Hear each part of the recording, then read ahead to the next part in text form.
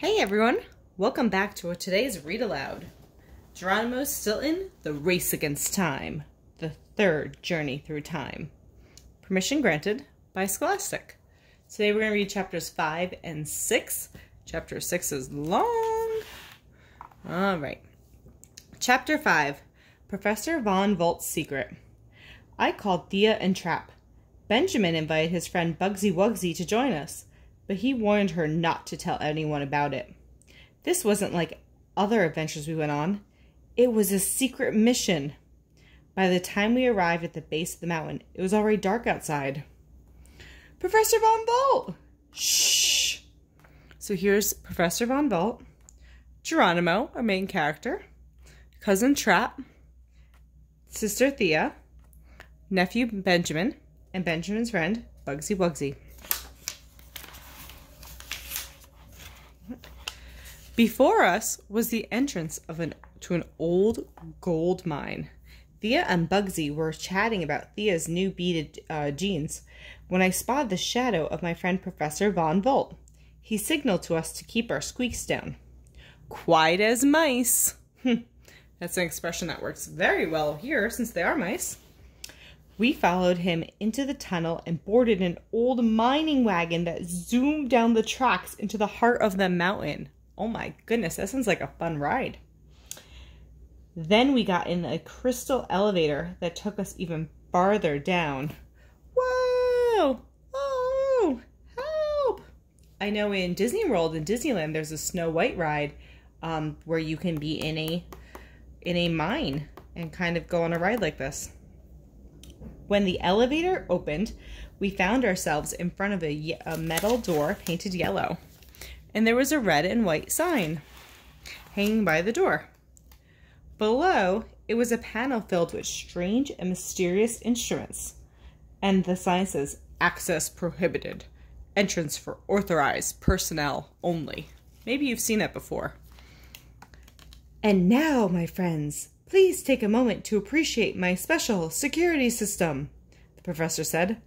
I am the only one who can open the door. The system is trained to recognize me. Retina reader, Mrs. I, DNA detector, and paw print reader. Wow, this is very secure. Prepare for scan, a robotic voice said. The professor put his eyes up to the camera and scanned his retinas. Then he placed his right paw on a plate, which scanned his paw print. Finally, a strange looking gadget pulled at one of his whiskers examined it, and identified his DNA, that is, the professor's genetic code, which is unique for every living being. I think I wouldn't want one of my whiskers, or we have hairs, hairs being pulled and plucked every time I had to go into a place, into the secret lab. But I understand the the point of all the security. Recognition complete, the robotic voice said. You are Paws Von Volt. Welcome back, Professor. There was a whistle and a clink, and then the door slid open, revealing Professor Von Volt's super secret laboratory. Ooh, look at these pictures. And he's saying, Come on in. They're saying, Ooh, how cool. Wow, I would like to be here. All those cool things. What do we think everything does? Here I see kind of looks like a shower with a blow dryer and a lamp or a light. Hmm, wonder what that does. Maybe that's like a shrink ray or a time machine. This looks like a seat of some sort. Wonder what that does. That would be so cool. We're here, we see steam or like some kind of vapor. Watering plants. It's like hovering in the air. We see a fish. Like a fish tank under the stairs. Wow. So cool. We scampered into the room. The laboratory was full of strange buzzing machines. Professor, what machine will we use to travel through time? I asked. We'll use my latest invention, the professor said proudly. It's over here. He led us to a far corner of the laboratory, pushed a button, and a strange round door lifted up from the ground. It was surrounded by two titanium rings, and it was vibrating like a living thing. I put my ear near it, and it let out a soft buzz. Bzzz. Inside, there was a weird, transparent, transparent means see through, material like crystal. I brushed it with my paw. It was as soft and smooth as cream cheese. I am pleased to present to you my new invention, Professor Von Volt said solemnly. That means seriously. This time you won't need a machine to travel. Just cross through this portal. The Paw Pro Portal. Wow. And he's saying, Here it is. They're saying, Ooh. Wow. Buzz,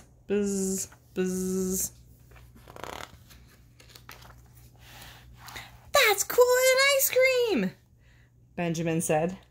When we arrive in the past, won't this machine be a bit, um, bulky?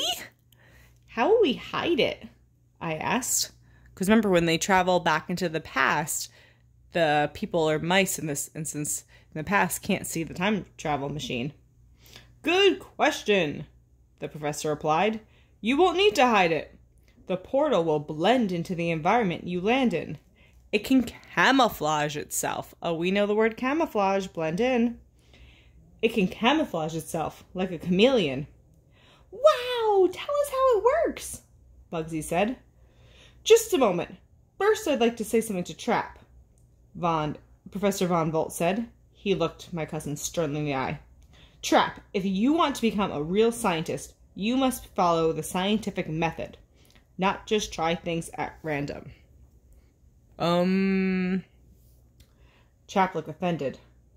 I don't do things at random, Professor. I create. Because, besides, plus, it was no big deal. Just a few green pimples on Jerry's snout.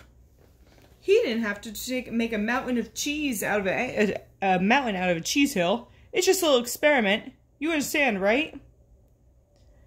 Volt said severely and seriously. No trap. I don't understand. I repeat, a scientist must follow the rules of the scientific method. And here's the scientific method, like we do in school. You will make a hypothesis. You prove it by doing a series of experiments. You use precise measurements. You check the results. And then you form your conclusions. What a load of rotten cheese, Trap snorted. I bet Leonardo da Vinci didn't have to put up with a bunch of doubters like you. He just invented brilliant things, and everyone thought he was the rat's whiskers. The professor raised an eyebrow. Leonardo da Vinci, you say? Well, why don't you ask him? You'll meet him on your next journey through time. Leonardo da Vinci was a very famous inventor and painter during the Renaissance. Chapter 6 the Paw Pro Portal. And this chapter is long, so it's the last chapter we'll read today. Professor Von Volt pushed a button and a bright screen lit up behind him. He began to explain how to use his new invention. To be able to travel through time, you must open a spatio-temporal tunnel, and it must be stable, and you must guide it to a very precise era in the past, he says to travel through time. And you can kind of see an outline of a Geronimo Stilton floating through. I don't know if you can see that, but it's very faint. He cleared his throat. The Paw Patrol portal functions in three phases. Phase 1 The portal opens. During this time, two titanium rings rotate to the left at super fast speeds. They create a tunnel that leads to the past. Phase 2. The tunnel stabilizes. During this phase, the two rings rotate to the right at super fast speeds, creating a magnetic field that keeps the, the tunnel stable and prevents it from closing. Phase 3. The time period is selected. During this phase, the tunnel reaches a precise time period. This is where you come in. You must push one of these four buttons, but be careful not to make a mistake. Geronimo, jot this down. Ah, I forgot. There will be a very loud bang. Oh boy, I wonder what that would feel like. Here we go. So it looks like here's like a manual that we're looking into. So it's like different kinds of text. All right, so we're looking into the Paw Pro Portal Manual. Name. The Paw Pro Portal. Speed, 1,000 times greater than the speed of light. Passenger capacity, there's no limit. Passenger capacity means how many people or mice can fit on it. Hmm, there's no limit. That's interesting. Weight, super light titanium. Phase one. So this is like we said. I'm just going to repeat it. Opening the time tunnel. During this phase, the two titanium rings, you can see the picture here, rotate to the left to create a tunnel that leads to the past. Phase two. The tunnel stabilizes. During this phase, the two rings rotate to the right, creating a magnetic field that keeps the tunnel stable and prevents it from crossing. Phase 3. Choosing the time period. During this phase, the tunnel must reach a precise time period. And here are the buttons to select the time and place. Ooh, this is my favorite part, seeing where we're going, what time era. All right, the orange button is to the Ice Age. The white button is to ancient Greece. The blue button is to the Renaissance. And the yellow but button is to New Mouse City, which is the present. Here's Geronimo floating through. And very faintly, there's pictures of mice in the Ice Age, Ancient Greece, and the Renaissance. So those are the three places. If you got a chance to go to the Ice Age, Ancient Greece, and or the Renaissance, where would you like to go to and why?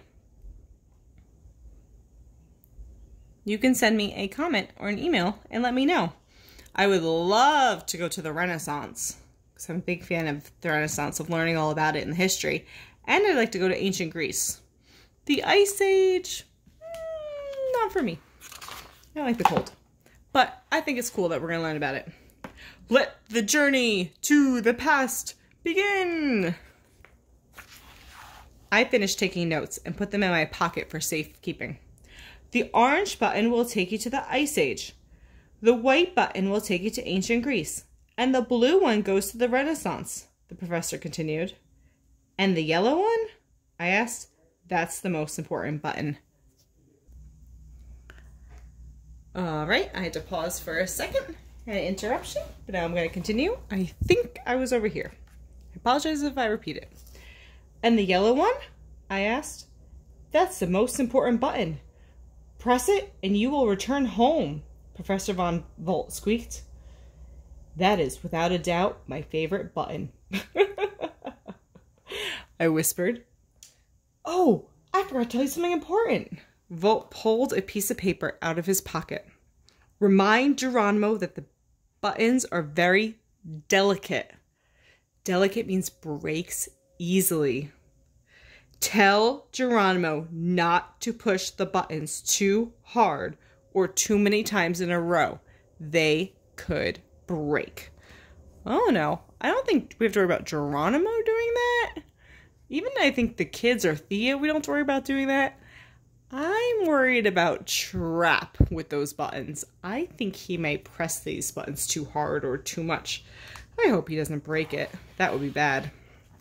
He says, What would happen? What happens if they break? I asked, worried. The professor had a serious look on his snout. You could end up as prisoners in time and you'll never be able to get back home. oh no! He paused and looked at us, looked at us each in the eye. As you all know, time travel is a dangerous endeavor. Endeavor's adventure. What do you think, my friends? Do you still want to go? Everyone squeaked at the same time. Yes! Of course. It's to be great. Come on. Let's get going. I was the only one who objected. Well, um, actually, I I'm a bit nervous to tell you the truth. I'm completely terrified. Won't it be too dangerous? What if the buttons get stuck? What if we all get trapped in time? I think these are all really good questions. And it says, I think it's pretty cool. It's a cage, and around it has the word trapped. And then inside of it says the words trapped are trapped in the cage. I think it's very funny. The professor took me aside. You're right, Geronimo. Here's the trapped. Let's see if you can see it. Oh, it's not really working. Uh, it's not focusing. All right. You're right, Geronimo. Traveling through time is very risky. But think of all the things you you can discover. Of the amazing experiences you'll have. I sighed. Let's sigh. he was right. It was going to be an amazing adventure. And what a story to tell. I definitely get material to write another bestseller out of this trip. Remember, he's an author. I took a deep breath. Let's take a deep breath. okay, Professor, you convinced me. I'm ready to embark on this new journey through time. The professor put a paw on my shoulder. Thanks, Geronimo. I knew I can count on you. Ah, I almost forgot. Take these earpieces. Each one has a small microchip that will help you translate the language in the time and place you're visiting. Whoa, that's so cool. I wish we had something like that. A chip that you can just translate any language. I would love it. Che pensi di questa cosa?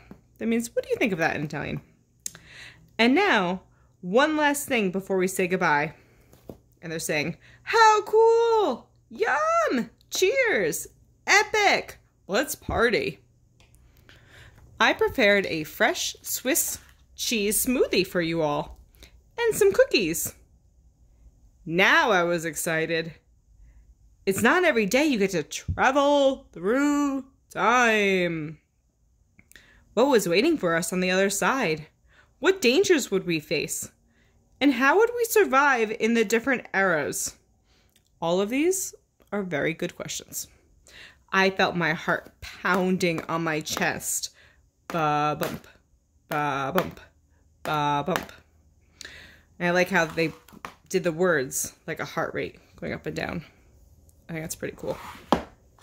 We each packed a bag with clothing the professor gave us for the different time periods, because remember they have to blend in, and slung them over our shoulders. Then I pressed the orange button, which would lead us to the time of the mammoths the Ice Age.